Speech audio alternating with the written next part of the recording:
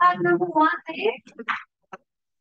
So like I said before, you could have done this in less steps, right? You don't have to show everything. I do write down every step so that you can see. Maybe if you did something wrong, you can see exactly where you went. Okay. So remember, if we have x's on both sides, what we need to do is we need to get the x's all on the one side and all the numbers on the other side. Okay, so what I did first was I said to myself, what is the opposite of subtracting 4? Adding 4. So you can see I did that on the other side. But guys, this you can do in your head. Right, I think you are getting a bit more um, comfortable with doing equations now. So maybe you can try doing that step in your head. You can say to yourself, I have a 6 here. Now the opposite of subtracting 4 is adding 4. So I add 4 to 6. And we all know that 6 plus 4 is 10. All right, so you can just write 2x on that side because now when you are adding 4, you're getting rid of that minus 4. There we go again. then you have that x and then the 6 plus 4 is 10. The first mark will be for this line, guys. But like I said again, if this makes it easier for you, what you're doing, then please write in that extra step. then this x needs to be on that side. So on this side, it's a positive x, right? So you need to say, what is the opposite of adding x? Subtracting x. So on the other side, you're going to say 2x minus x, which is actually just x. So that is then equal to 2. Alright, so this is actually just a two mark question, right? Even though it is quite complicated, even though you've had x's on both. You know, there are any questions on these. This one was quite similar. So the minus 10, what's the opposite of subtracting 10? Adding 10. You do that on the other side. Negative 4 plus 10 is positive 6. Now, what is the opposite of adding 5x? Subtracting 5x. So that's what you do on that side. 6x minus 5x is just 1 Alright, again, you'll get a mark for having that plus 6 there, and then you'll get a mark for x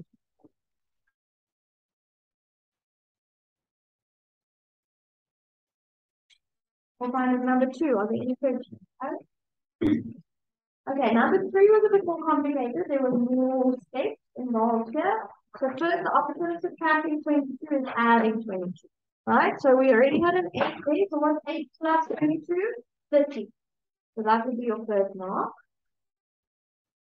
Now you need to move this 4x, this 4x you want on the other side. So what's the opposite of adding 4x? Subtracting 4x, right? So you have 2x minus 4x, which is negative 2x. That would be your second one. Now, guys, what am I doing with the negative 2 on this side? If I have negative 2x, that means that I am. What am I doing? Is it subtracting? Multiplying, hey, if the two a number and a variable are distributed next to each other, we're actually multiplying. So this is multiplying by negative 2. So when I move this, or when I want to do the opposite on the other side, I have to divide by negative 2. You can see I wrote it in both ways, guys. You can decide whether you want to write it with the division symbol or as a fraction. It's up to you. And then you must be careful. Now we must remember as positive divided by negative is negative, and 50 divided by 2 is 50. So the answer there is negative. Okay, I'm going to move down so that you can see number four. Number four also had three steps. Opposite of adding two is subtracting two. But now you must be careful here, guys. The negative numbers sometimes get a bit complicated, right? You have a negative 7 already, and now you're minusing another 2 from it. So do we agree that that's negative 9? Negative 7, negative 8, negative 9, right? So that's minus 9 then. Then here we have a negative x. That means that we're actually subtracting x on this side, right? So what's the opposite of subtracting x? Adding. Right, so you have to add x on this. Yeah. Oh, I see. I lifted. Oh, hey, thank you. Well, I shouldn't. Okay, so these are all going to be negative. Thanks, Skylar. All right, so that should stay a negative 9, negative 9, negative 9, negative, hello. Um, there was a credit on. Is it going to go right to do it? Does anyone have a tissue for Okay, I Alex, give it a few minutes. Oh, really? All right, I'm question.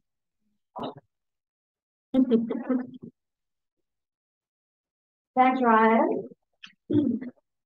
Okay, guys, let's get back to this quickly here. 2x plus x is 3x. Okay, so that will be your second mark for that line. Now, what am I doing with this 3 over here? I'm multiplying by. So the opposite of multiplying by 3 is dividing by. 3. All right, and now again we have a negative number divided by a positive number is a negative, and 9 divided by 3 is 3. I'm listing. Yeah, one second. All right, so number 4, guys. Sorry about that mistake there. Okay, number 5. If you missed anything, just let me know and I can show you the again. So in number five, six, and seven, there was a lot of stuff going on, but it was actually just lots of calculations. All right, so I'll show you now another way in which you could have done it. But what I did was I said to myself, okay, this plus 25, I don't want. What's the opposite of adding 25? Subtracting 25. Okay, so I left everything else exactly as it was, and I just put a minus 25 there. Again, I'm, I'll, I just said uh, there is another way of writing it out. I'll show you now. So then I'm calculating 35 minus 15 is what? 35 minus 15. 20, hey. So now I'm saying 20 minus 25. What's that? Negative 5, right? So that negative 5 is what you get when you actually calculate all three of those numbers. Okay, so that would be your first mark, guys. Actually, it would probably be two marks for that because you have to work with three numbers and you have to do the opposite of, of positive 25. I think that would be worth two marks. Now, do I want this 5x on this side? No, I want all my x on that side, right? So what is the opposite of adding 5x? Subtracting 5x. Okay, so that's what you do on the other side. 15x minus 5x is 10x. So that will be your third mark. And now, guys, you must be careful here. I think lots of people might say, okay, I'm going to do 10 divided by negative 5, right? Because that gives you a whole number. And we all love when we're getting a whole number as an answer. But we need to just be aware here. I'm saying x times 10. So what's the opposite of multiplying by 10? Dividing by 10. So we have a negative 5 on the other side. So we actually have to say negative 5 divided by 10. Not 10 divided by negative 5. Okay, it's negative 5, which was here, divided by this 10. Now guys, you could have written it like this if you wanted to, negative 5 divided by 10. But can I leave the answer like that?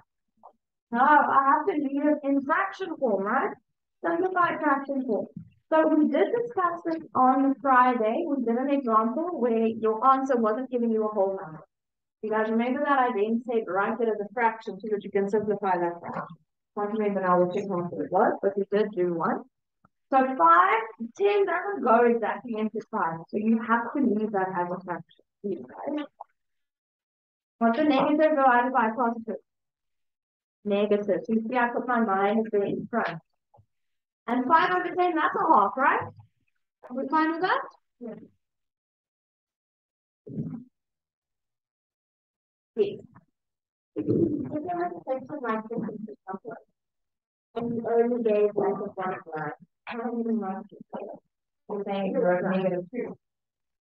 Negative. Negative like. Oh, if you get on the negative five over ten, that's fine. Uh, okay, that's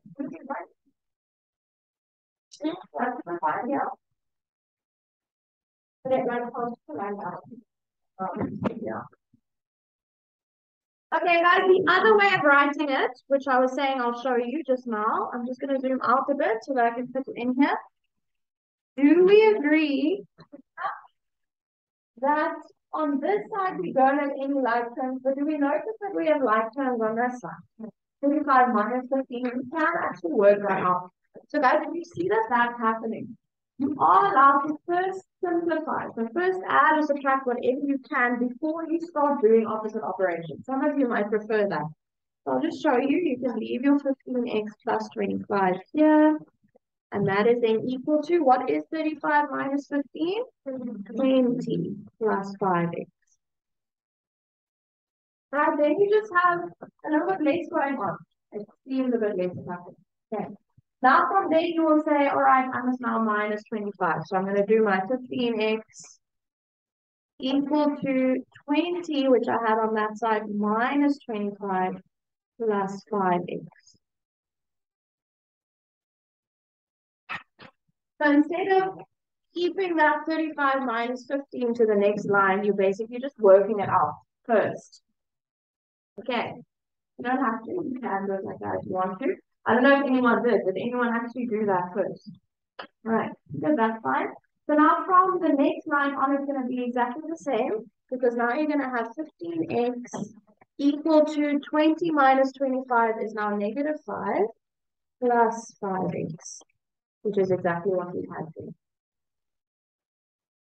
And that was the case for seven, 6 and 7 as well. You could actually simplify, I'll show you now for number 6, you could simplify on that side and on that side before starting to do the opposite operation. Okay, but we'll just first look at my answer here. What I did was I looked for the number on the side because I don't want the number here, right? So that's minus 4. What's the opposite of subtracting 4?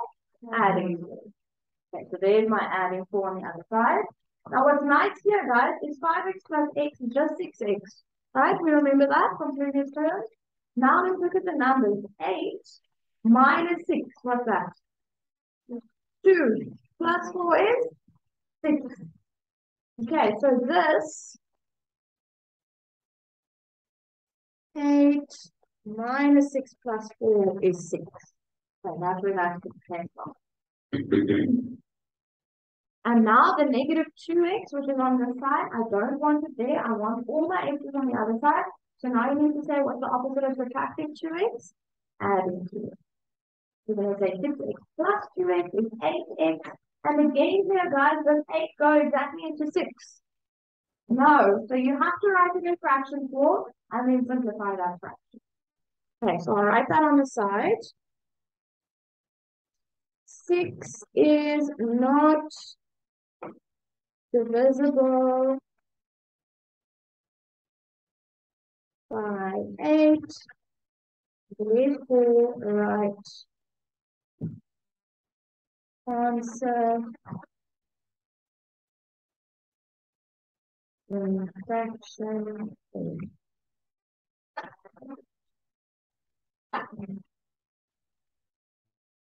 So just add that there, guys. If you write 3 divided by 4 as your final answer, you're actually not going to get that wrong. Okay. You have to keep your answer.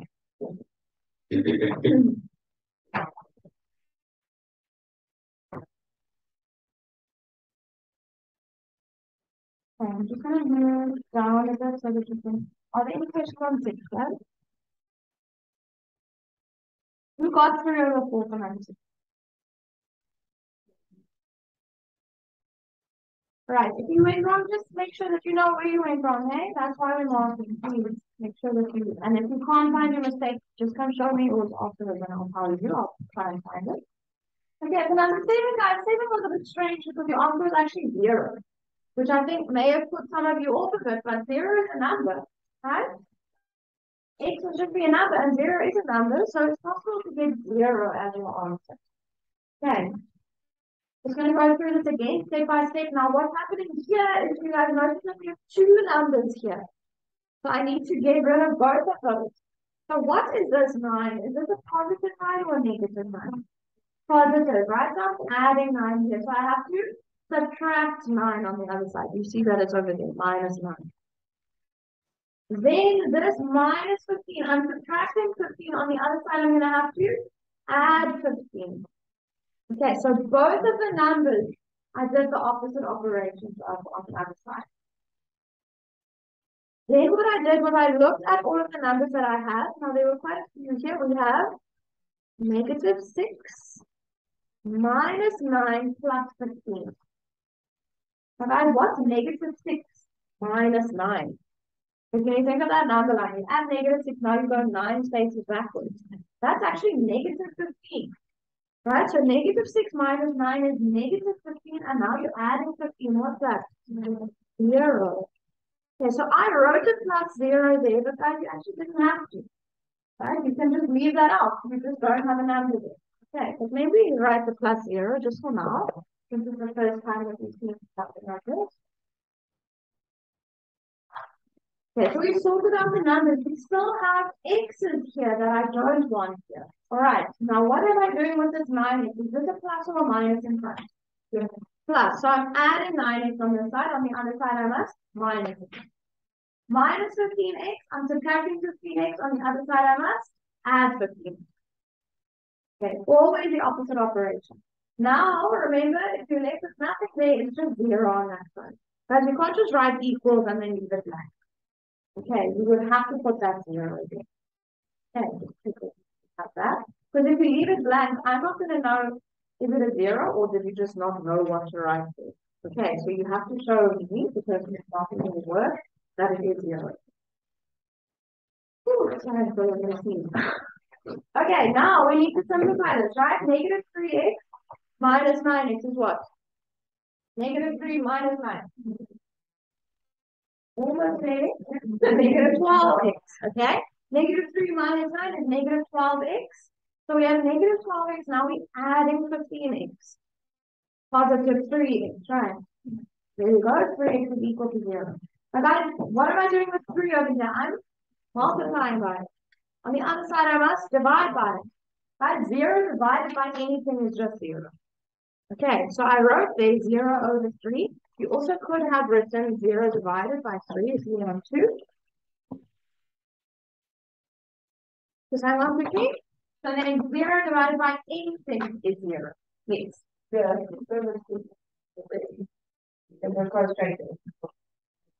So that's always these extra steps that I'm putting in where you're showing like the movement. You're showing the opposite operation. You don't actually have to show that. Okay. But guys, as I just for takes an exam, if you're not certain, if you're not sure whether you have to show a step, rather show it. Okay, play it safe. So maybe you're unsure, you don't know, do I have to write the step down? Am I going to lose a mark if I don't write it down? Just write it down. Okay, just keep it safe. Okay, any questions? All right, yes. Marks, let's see. So it would be. Two marks for getting to the zero. Because it's a, a big calculation and it's a, an opposite operation. Then a mark for getting to 3x equals 0 and a mark for the opposite. Okay, guys, we are going to do two more sections today.